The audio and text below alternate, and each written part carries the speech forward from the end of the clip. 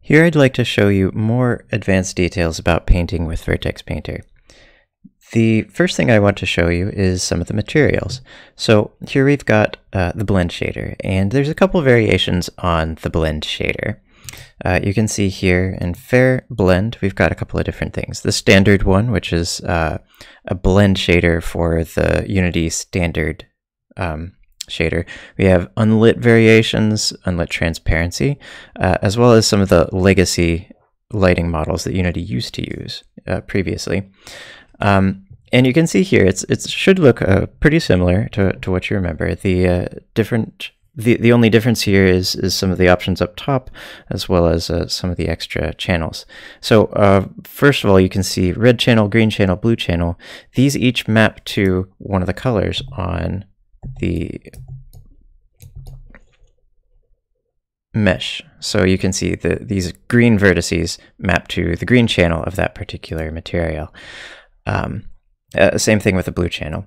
Now you can have uh, up to four different textures on your blend material. So two, three, four, users select it when creating your, your material. And uh, obviously fewer is better um, because you'll be running less operations in your shaders. Um, I have a couple different blending modes. Uh, the first one is height. Uh, and so if your uh, texture has height information in it, you can see here that uh, these textures have height information encoded in their alpha channel. Um, then it will use that height to blend um, between the different textures. So you can see uh, as I do this, um, it will fill in the cracks first because they have a lower height value than the uh, these rocks do. Uh, and so you get a, a height-based blending, which looks a little bit more realistic. Uh, you can also do a hard blend, which just kind of takes it and blends between them without any sort of height data, uh, which is great if you don't have that height data.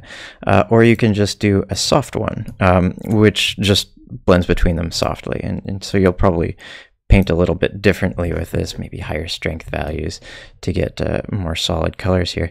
And so that can be great for, for like if you just want to add details to your um, um, textures instead of uh, completely changing some of the material. Um,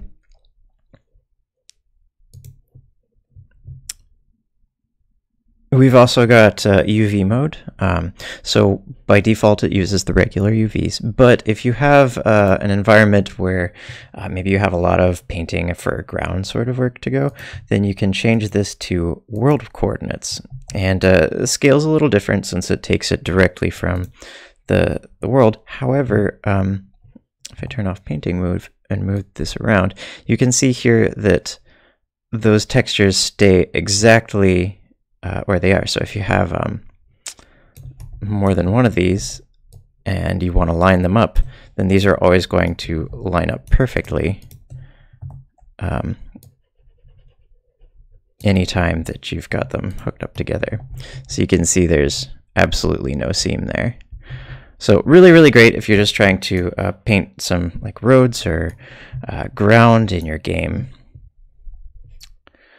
Um, so that's blend painting. Uh, lots of options there.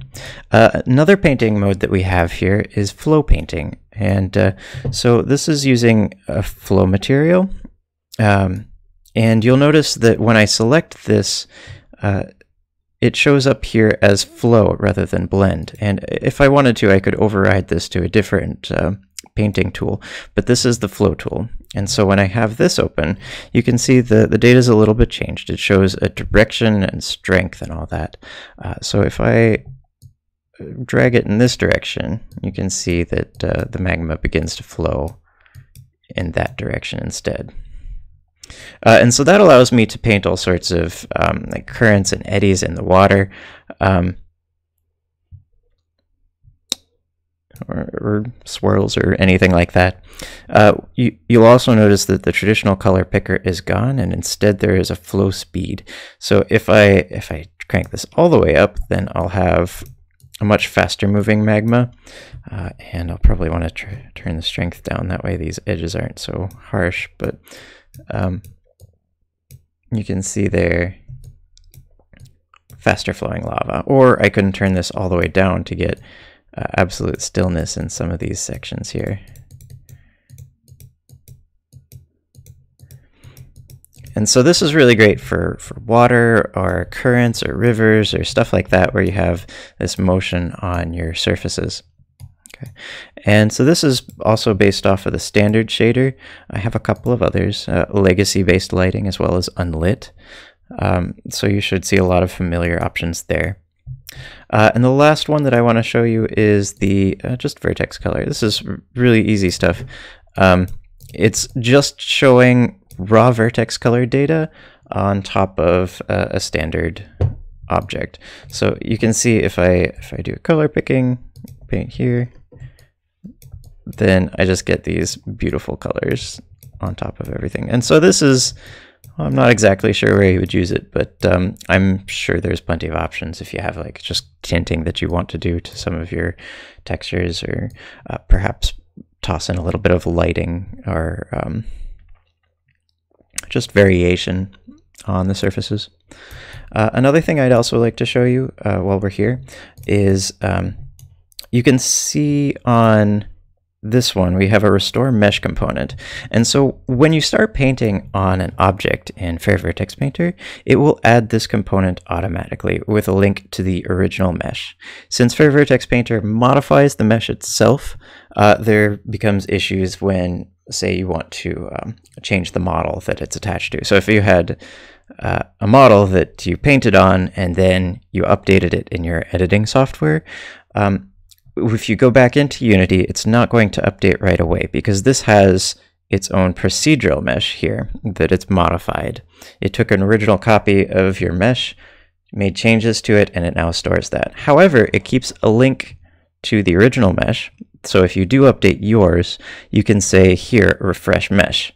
And what that'll do is it'll grab the mesh from your asset take the colors here and attempt to map these colors onto the new map. And it's pretty smart about this. If it's anywhere near spatially, then it'll work just fine.